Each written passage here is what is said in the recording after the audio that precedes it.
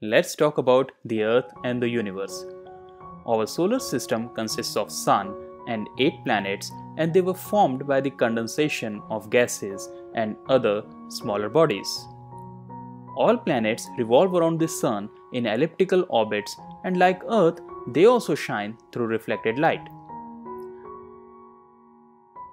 The surface temperature of Sun is around 6000 degrees Celsius and reaching around 20 million degrees Celsius as we move towards the interior. Sun is around 300,000 times bigger than the Earth. We will now talk about planets. Mercury is the smallest and also closest to Sun.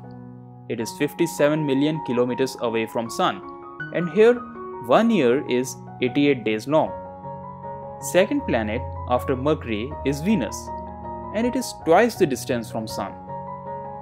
Third planet is Earth. Earth has a natural satellite called Moon. It revolves in eastward direction around Earth and completes a revolution in 27 days. Fourth planet is Mars. It has dark patches on its surface and it is very promising for life after Earth. Next comes the Jupiter which is the largest planet of our solar system, his surface is formed from many gases like hydrogen, helium, methane, etc. It is distinguishable because of its light and dark bands and it also has many satellites. Next comes Saturn. It is second largest planet after Jupiter. It is so far from Sun that it takes 29.5 years to complete its revolution. Next is Uranus. It is 50 times larger than Earth and is 15 times heavier. It revolves in clockwise direction around the Sun. Now comes Neptune. It has 13 satellites and is a very cold planet. Let's talk about the shape of Earth. Now we do know that it is spherical but it took us a lot of time to realize this. Now we have aerial photographs taken from rockets and satellites which show that Earth is spherical, but we were able to establish this through other methods also. One is the circumnavigation of Earth. If we start from one point and keep sailing, then we reach the same point. So this proved that Earth is spherical. Secondly, if we look at horizon from some height, then it looks circular. This shows that Earth must be spherical. Third proof we get from visibility of ships. If a ship moves away towards horizon, then the last portion of ship which remains visible is the top of the ship. This shows that Earth must be spherical. Next proof is that the sunrise and sunset takes place at different times at different locations. This would not have been possible if Earth was flat.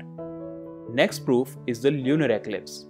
During lunar eclipse, the shadow of Earth on moon is spherical, proving that Earth is spherical.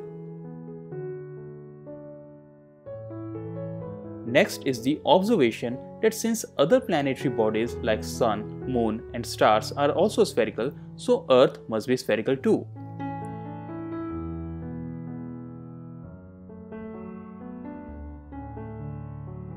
Next proof is that if we dig three poles at equal distances, then top of the middle pole looks to be higher than the other two, proving that the earth is spherical.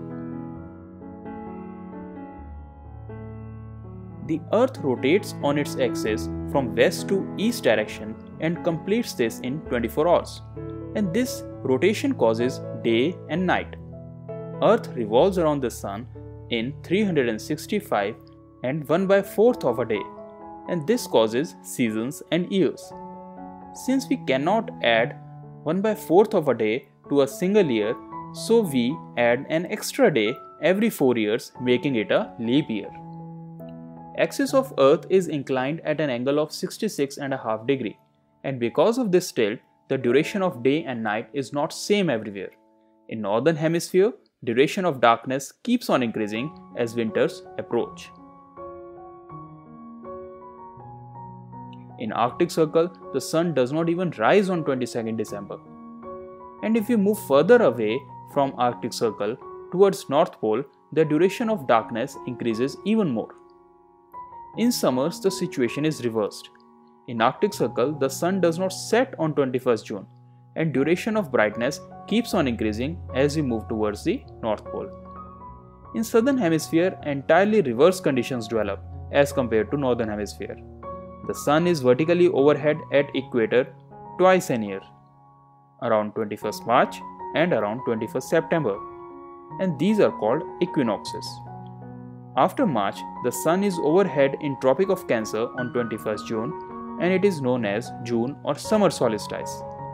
Similarly, Sun is overhead at Tropic of Capricorn on 22nd December and this is called winter solstice. During a solstice, the duration of a day is maximum. These dates can also vary by a day or two. Now let's talk about seasons. In summers, temperature is high which is due to the sun being overhead. If sun is overhead, the rays fall vertically on earth and time for them to get absorbed in atmosphere before reaching land is also low and sunlight per unit area is high and because of this temperature soars. In winters the sun rays are oblique and atmosphere is able to absorb them before reaching land and sunlight per unit area is low and this leads to fall in temperature. One more reason is that in summer, duration of day is more and in winters, duration of days is less. And this causes the difference in temperature. Suppose we need to locate a place on earth.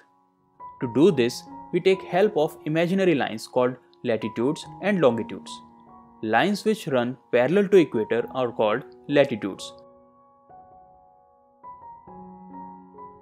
And lines which run from north to south direction from north pole to south pole are called longitudes. Through intersection of these lines, we are able to find location of any point on earth. For example, location of Delhi is 28 degree 37 minutes north and 77 degree 10 minutes east. Four latitudes are most important. First is Tropic of Cancer which is at 23.5 degree north. Second is Tropic of Capricorn which is at 23.5 degree south. Third is Arctic Circle which is at 66.5 degree north. And last is Antarctic Circle which is at 66.5 degrees south. Two longitudes which are most important are prime meridian and international dateline. In 1884, it was decided that zero meridian will be the one which passes through Royal Astronomical Observatory, Greenwich, London. This is called prime meridian, and by taking this as reference, we find other meridians which vary from 0 to 180 degree east and west from the prime meridian. Since Earth completes its one rotation of 360 degree in 24 hours, this means that it covers 15 degree in 1 hour and 1 degree in 4 minutes. Since we had to decide dates also, we needed a longitude which when crossed led to change in date. This is called international date line. As you can see, it is not a straight line and it has been done so that it does not pass through any country, as it would have been an administrative headache if dates kept on changing within a country.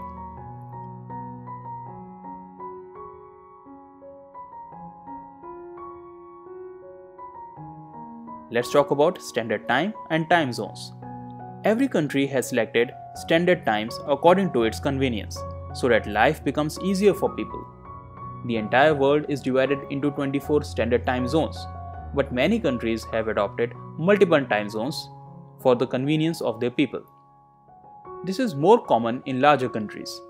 In Canada and US, we have 5 time zones. I hope you enjoyed this video. Thanks for watching.